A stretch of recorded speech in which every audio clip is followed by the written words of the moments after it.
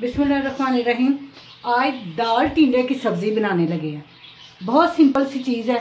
ये टिंडे तकरीबन डेढ़ पाव के करीब। मैंने आधा किलो, डेढ़ पाव आप इतने कर ले। साफ़ करके रखे हैं। दो टमाटर, हरी मिर्चें। ये एक कप दाल। दरमियाना एक प्याज, लहसुन, अदरक और ये सूखे मसाले, नमक, मिर्च और सूखा धनिया। एक एक टी स्पून और थोड़ी सी हल्दी। कुकिंग ऑयल मैंने गर्म करना रखा है। ये मिट्टी की हंडिया में बहुत मज़े का बनता है।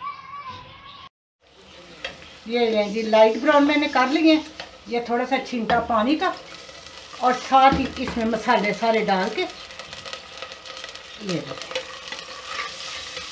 मसाले की बुनाई हो जाएगी अच्छी तरह। जब घी छोड़ेगा, फिर आपको दिखाऊँगी टिंडे डालते वक्त। ये देखें, मसाले ने घी छोड़ दिया। आप टिंडे डाल के उनकी मैं पहले बुनाई करूँगी। ये। साथ ही टमाटर भी डाल देती हूँ और ये दो हरी मिर्चें मैंने काटी इसको अच्छी तरह इसकी बुनाई करनी है।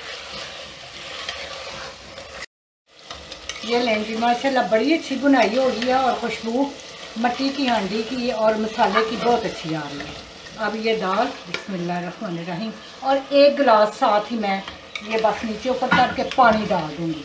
अब इसकी बुनाई वगैरह नहीं करनी। ये देखें।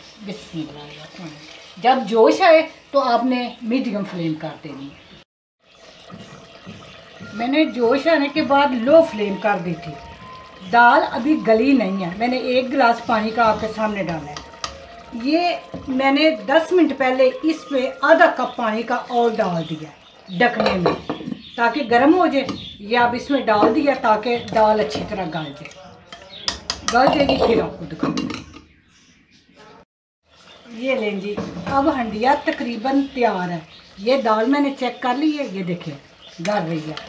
ये जो मट्टी की हंडिया है, इसको थोड़ा पाँच मिनट पहले बंद करते हैं, नीचे से फ्लेम। इसलिए कि ये बाद में इसको जोश आते रहते हैं, ये देखें।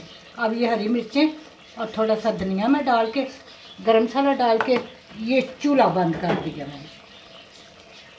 अब पाँच मिनट बाद मैं आपको ये दिखाऊँगी।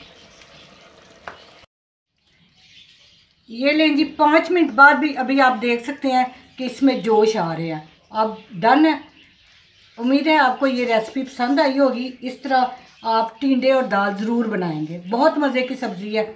मेरे चैनल पकवान को सब्सक्राइब करें लाइक और शेयर करें। अल्लाह पाक आपको अपने नेक इरादों में कामयाब करें।